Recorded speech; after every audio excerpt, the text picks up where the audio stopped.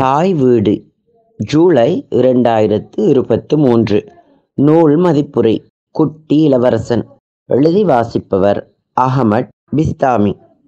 சிறுவர் இலக்கியம் உலக அளவில் மிகுந்த ஈடுபாட்டுடன் நோக்கத்தக்க துறையாகும். கலை இலக்கியம் சார்ந்து சிறுவர்களின் சிந்தனை கற்பனை வளம் போன்றவற்றை மேம்படுத்தும் வகையில் சிறுவர் கலை இலக்கியம் இன்று கணிசமான வளர்ச்சியை கண்டுள்ளது. சிறுவர்களுக்கான கதைகள் அதீத கற்பனையில் எழுந்து நிற்பவை. அறிவும் அறமும் சார்ந்து அவை அமைகையில் ஆரோக்கியமான செழுமையான ஆளுமை வளம் நிறைந்தவர்களாக உருவாக்க முடியும்.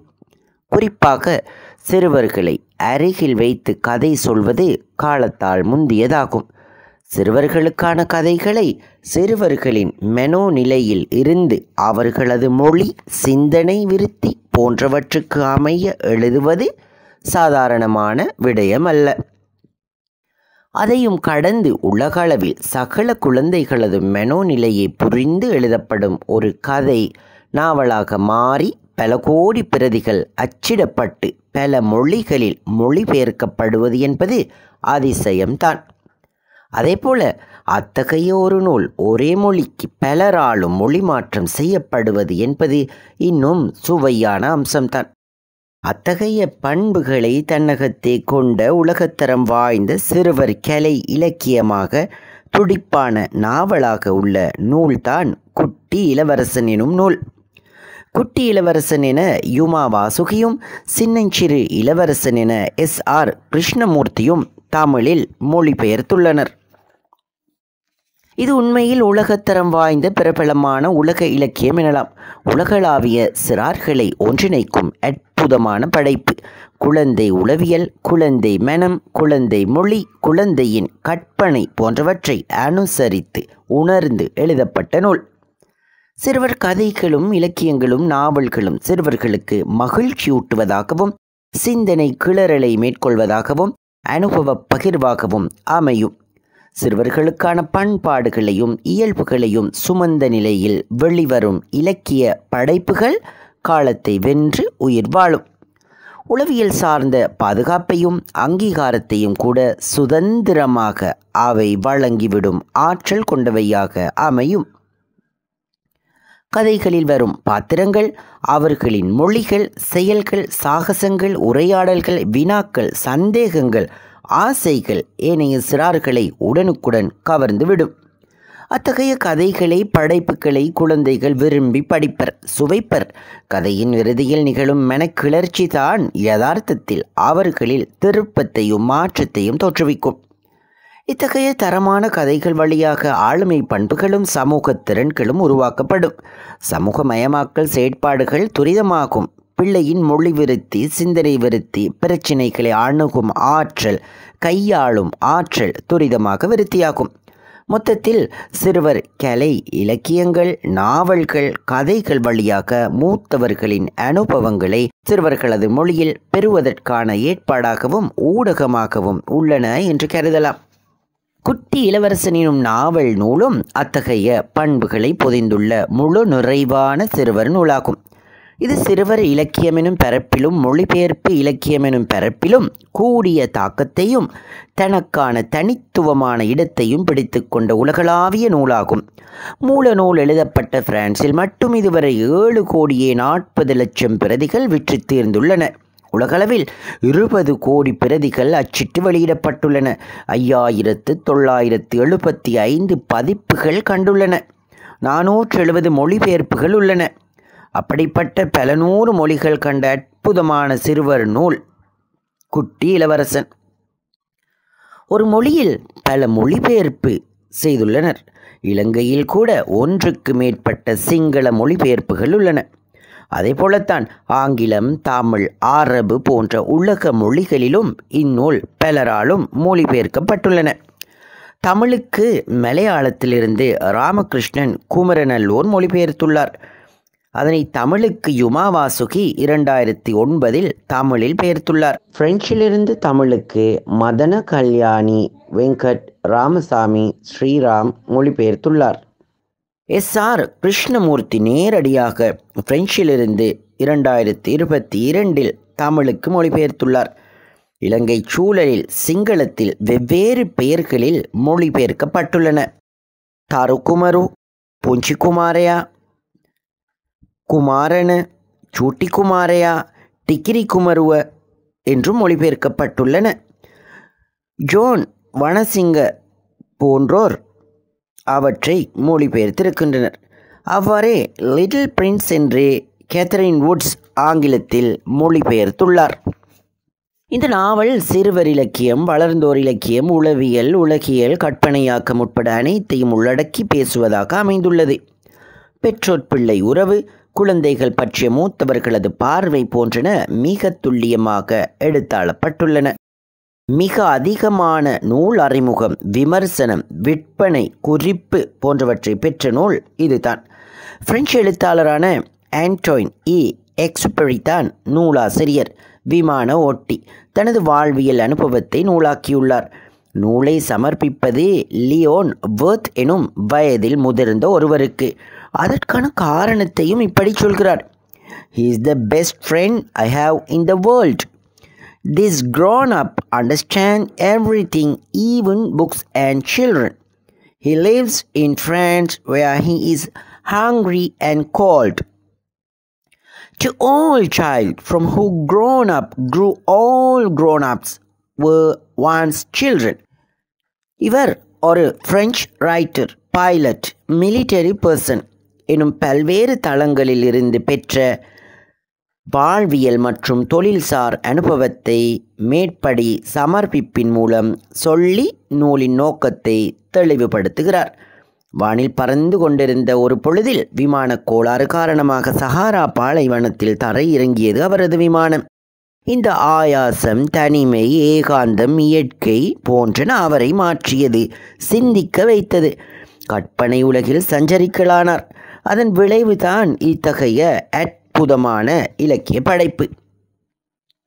ஆயிரத்து தொள்ளாயிரத்து இருபத்தி மூன்றில் இராணுவத்திலிருந்து விலகி கலை இலக்கியம் சார்ந்த துறைகளில் எழுதலானார். ஆயிரத்து தொள்ளாயிரத்து இருபத்தி ஐந்தில் முதல் நூல் அவரால் வெளியிடப்பட்டது. ஆயிரத்தி தொள்ளாயிரத்து நாற்பத்தி நான்கில் போகோ என்ற இடத்தில் விமானம் தலைமறைவாகி குட்டி இளவரசனின் வாழ்வு போல எக்ஸ்பெரியின் வாழ்வும் முடிகிறது. அவர் சென்ற விமானம் சிதைவுகளாக கண்டுபிடிக்கப்பட்டாலும் அவருக்கு என்ன ஆனது என்று தெரியவில்லை. பிரான்ஸ் நாட்டின் நாணயமான ஐம்பது பிராங்கில் குட்டி இளவரசன் மற்றும் கதையில் வரும் யானையை விழுங்கிய மலைப்பாம்பு ஆகியவற்றின் படங்களை பிரான்ஸ் அரசு வெளியிட்டுள்ளது. நூல் வெளியாகி ஐம்பது ஆண்டுகள் கடந்ததை முன்னிட்டு நூலாசிரியருக்கு செயின்ட் எக்ஸ்பரி கதாநாயகனுக்கு அஞ்சலி எனும் சிறப்பு பதிப்பு ஒன்று வெளியானது. இதில் பிரபலங்கள் அவருக்கு அஞ்சலி செலுத்தினர். அவரது நூலில் வந்த ஓவியங்கள் தனிப்படங்களாக இணைக்கப்பட்ட புத்தகங்களும் வெளியாகின. வாழ்க்கை குறித்த வினாக்கள் இங்கு உரையாடப்பட்டுள்ளன. அவ்வாறே தத்துவார்த்தம் நிறைந்த விடயங்கள் அலசப்பட்டுள்ளன.